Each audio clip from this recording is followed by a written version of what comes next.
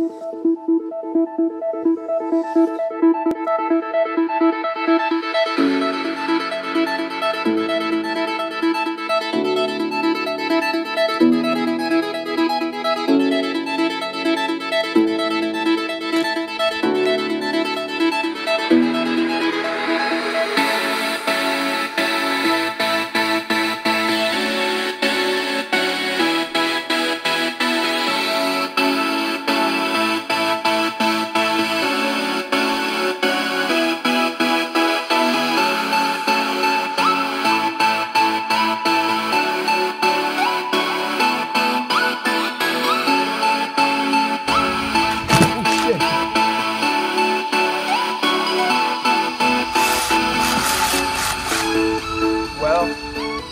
Have it.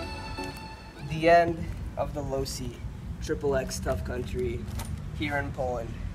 So, during throughout this video, we probably have to fix the car about I don't know seven times, and the axle kept popping off, the wheel kept popping off, and basically, there's no hope for this thing left here in Poland. I'm obviously gonna fix it when I get back to America. But for Poland, it's going to be the last video of the series, which was only two videos, but it is what it is.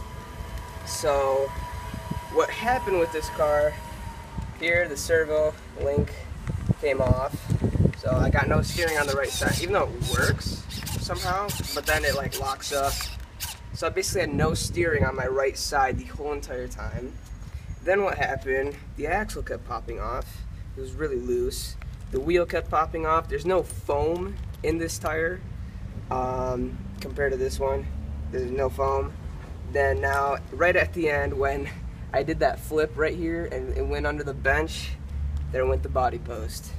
So, unfortunately, there's no hobby town here in Poland, so I can't really fix this. But when I do come back to America, I will fix this and you'll be seeing many more videos with this when I do come back to America, I will be making videos from day one when I get back, which the first video will be of the Slash two-wheel drive, the return of the Slash.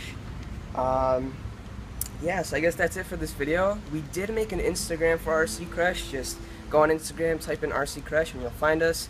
Uh, it's really just so you guys can like hear upcoming news of uh, of the channel. Uh, if we're making a new video, if we just posted one, just to kind of keep you guys updated. But yeah, just go check us out on Instagram, and if you like what you saw here in Poland, the mud bog and this, then uh, please leave a like on both videos, and if you like, if you want to see more, then please subscribe. And this is RC Crush signing off.